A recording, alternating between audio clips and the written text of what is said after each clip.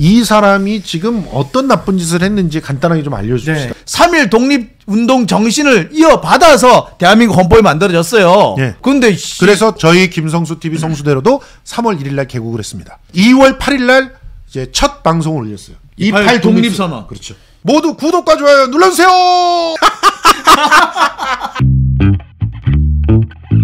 또 이상한 뒤통수가 하나 날아왔어요. 예, 안태근 무죄에 이어서 이번에는 사법농단의 거의 핵심 인물이라고 알려졌던 예. 예, 유해용 판사가 예. 예, 전 판사죠. 예. 전 판사가 오늘 법원에서 무죄 판결을 받았습니다. 1심이긴 합니다만 아, 충격이었습니다. 야. 이 사람이 지금 어떤 나쁜 짓을 했는지 간단하게 좀 알려주시다. 네, 이 유해용 전 대법원의 그 재판연구원이었죠. 이 그렇죠. 사람은 쉽게 말해서 이제 여러분 저 비선 진료 의혹이라고 아실 맞아요. 거예요. 예, 박근혜 전 대통령 네. 때 그때 그 비선 진료 의혹과 관련된 재판이라든지 이 재판 진행 경과를 몰래 빼서 청와대 에 전달해 준 혐의를 받고 있었어요. 맞습니다. 자, 그런데 오늘 판결에서는 음. 음, 강제로 몰래 뺐다고 할 수도 없고 강제성이 없었고. 강제성이 없었고 어. 그것이 실제로 빼서 넘겨줬는지도 확실치 않다 증거가 부족하다라고 해서 무죄 판결이 났습니다 그러면 이거는 책임져야 될 사람이 둘 중에 하나네. 검사가 하나는. 검사. 네. 그러니까 제대로 수사를 안 하고 대충 무말해서 올린 거야. 수사는 한동훈이 했죠 한동훈이 이걸 수사했다고? 그렇죠 사법농단 잠깐만. 원래는 사법농단 수사는 특검에서 했잖아.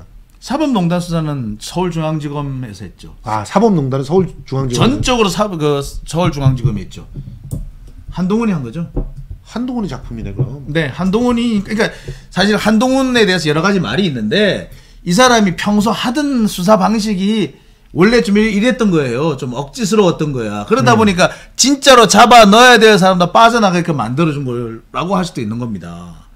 아니 이게 일부러 판사 쪽에 줄대고 있는 거 아니야 지금? 자기가 나중에 좀 어? 공이 있으니까 자기가 네. 어, 연루가 됐던 그런 사건을 갖다 좀 이렇게 어? 어떻게 하려고.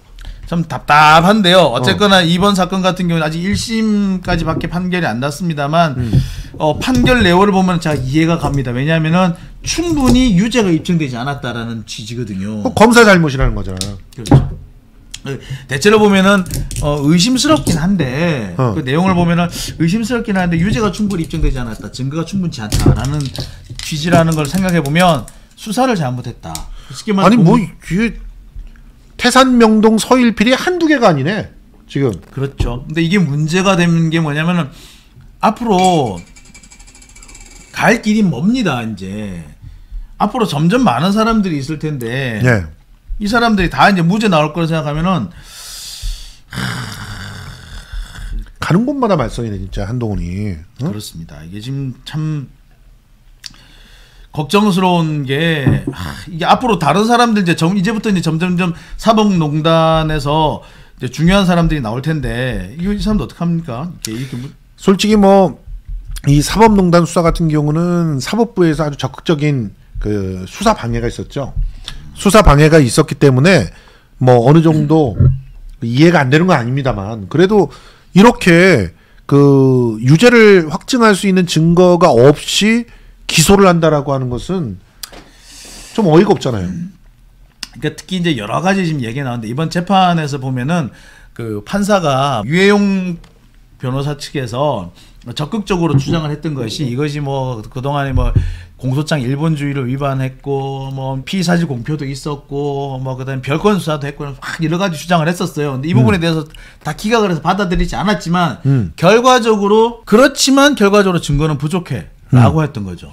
그렇군요. 그러니까 뭐냐면은 기각을 하긴 했는데 예. 그런 저 그 재판에 들어오게 이제 기소에 관련된 불법이 있었다는 부분은 기각을 했지만 음. 결론적으로 그것까지 다 포함을 해서 결정을 내렸다 음. 판결을 내렸다 이렇게밖에 볼 수 없는 겁니다. 참 안타깝습니다. 예 그렇기 되면은 그러니까 이게 뭐냐면 결국에는 한동훈식 수사가 잘못되면은 이렇게 될 수도 있다. 음.